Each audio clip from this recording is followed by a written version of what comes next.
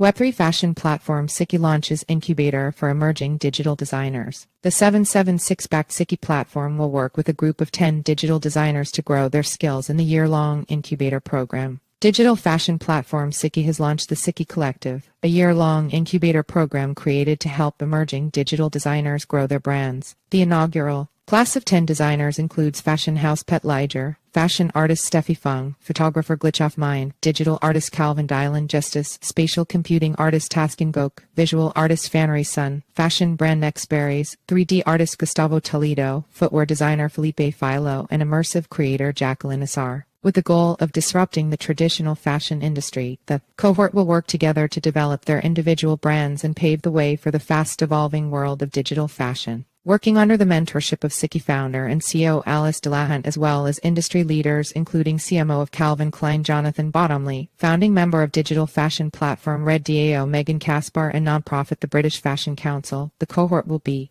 releasing their first collections on SYKY later this year. Delahunt told CoinDesk that the company's mission is to decentralize creativity and bring new mediums into the traditional fashion world. There's still a lot of cynicism about digital designers. The metaverse and NFTs had an absolutely mainstream hype cycle, and then we went into the trough of disillusionment and kind of felt discarded. A little bit, said Delahunt. I think that we had to really cut through the noise. There are designers who are designing in these spaces, and there are consumers who are in digital worlds consuming and expressing their identity. Taskin Goec, one of the designers selected to participate in the cohort, told CoinDesk he's looking forward to expanding his design skills alongside a group of artists and mentors who are well versed in digital fashion and Web3. I think that none of us started designing in a vacuum, and I think we're all making culture together, said Goec. I don't want to work just by myself in my own case, but I want to actually join this family so that we can create something bigger together. In addition to learning new skills, the cohort is also focused on diversifying the industry. Delahunt said that the SYKY Collective aims to break down barriers to entry into the fashion world by empowering new artists. The more houses that can exist at a grassroots level that can scale, the more creative, more inclusive, and more diversified the fashion industry will be, said Delahunt. When we look back in 100 years' time, although there's been a lot of work done to break down barriers and diversify, it's still a very gay-kept industry.